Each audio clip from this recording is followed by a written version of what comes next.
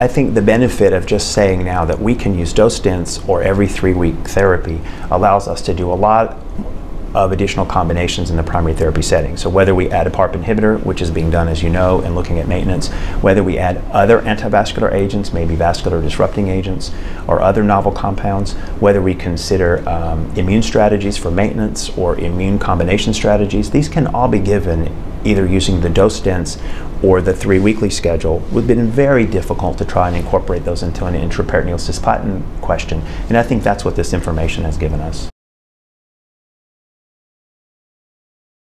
Intraperitoneal therapy has been traditionally used in the gynecologic world just in ovarian cancer. It has been used in other GI malignancies with other agents as well.